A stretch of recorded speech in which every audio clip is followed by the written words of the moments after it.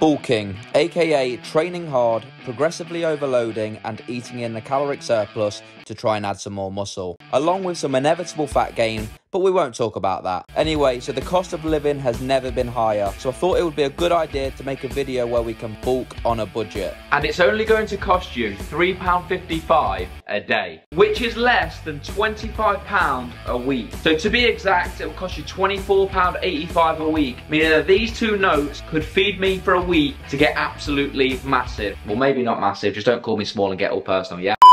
And to be fair, you could probably spend more than that on a Domino's takeaway on a Saturday night. But this bulking diet is not only cheap, but will allow you to consume 3,000 calories per day with 173 grams of protein. And in return, if you can give this video a like and subscribe to the channel, that would be appreciated. But what I need to do now is explain exactly how this video is going to work. So for each meal to qualify for this video, each meal has to be somewhat healthy. It's got to be cheap, obviously, because we're on a budget. And lastly, it's got to have a sufficient amount of protein and a sufficient amount of calories. Also to mention, the cost of these meals are for how much each portion would cost after purchasing the products. For example, if we went and bought four tins of tuna from Aldi, that would set me back £2.68. So if we divided that by four, the cost for one tin of tuna is 67 pence. Anyway, let's start off the video by cooking up the first meal. So we will need 100 grams of oats, which will cost us 7 pence. We will need 30 grams of peanut butter, which will cost us 12 pence. And lastly, we will need one banana, which will cost us 14 pence. Bring a total for this meal for just 33 pence. The total calories for this meal is 638 calories, made up of 89 grams of carbs, 20 grams of fats, and 21 grams of protein.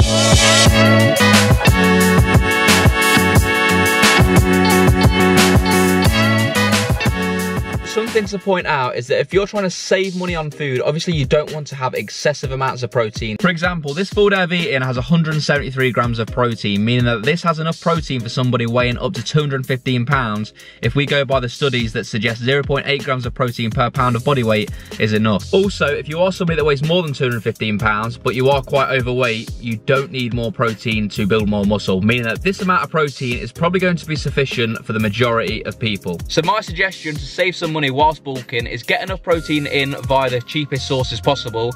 And then when you need to increase your calories higher, get those calories in through carbohydrates and fat sources that are typically quite cheap to buy, for example, oats and cereal. Two hours later. So Em has just brought it to my attention that this meal is really weird. And to be fair, I've never had it before, but I'm on a budget and the macros are pretty good. So for this next meal, we will need 200 grams of pasta, which will cost us 16 pence. We will need half a tin of beans, which will cost us 22 pence. We'll need one tin of tuna, which will cost us 67 pence. And lastly, we will need 30 grams of cheese, which will cost us 14 pence, bringing a total for this meal of one pound and 19 pence. Which will make up this meal.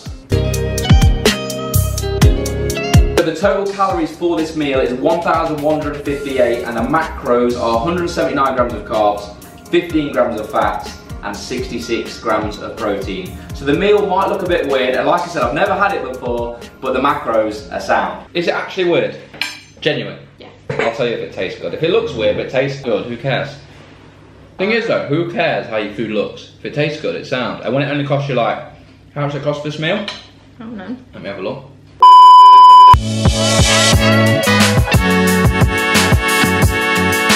that was good. I enjoyed it. I'll be starting trends. Two hours later. So the next meal being an omelette, we will need four large eggs, which will cost us 68 pence. We will need 30 grams of tomatoes, which will cost us 8 pence.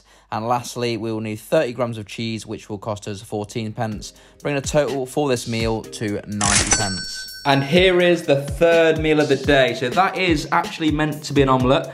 So I've definitely made better presentable omelettes in, in my time, but you know, again, macros aren't too bad and it will taste pretty good. The total calories for the most aesthetic omelette you'll ever see is 414 calories and the macros are one gram of carbs, 28 grams of fats and 32 grams of protein. Okay, so for the last meal of the day, we're gonna need 250 grams of chicken thigh. So this is considerably cheaper than chicken breast just because there's less protein in there, a little bit higher fats, but we're gonna hit the protein intake for the day, so these are gonna be fine. And we're also going to need 250 grams of sweet potato. And the last thing we're going to need is 200 grams of mixed veg. So the chicken thighs will cost us 67 pence, the sweet potato will cost us 25 pence, and the mixed veg will cost us 21 pence, bringing a total of this meal to £1 and 13 pence.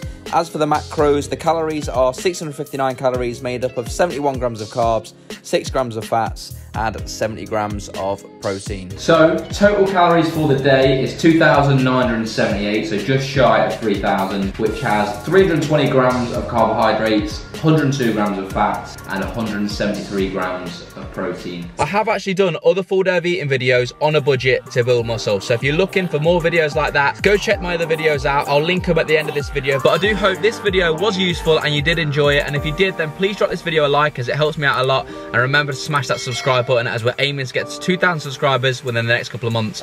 But yeah, that's all from me. See you in a bit.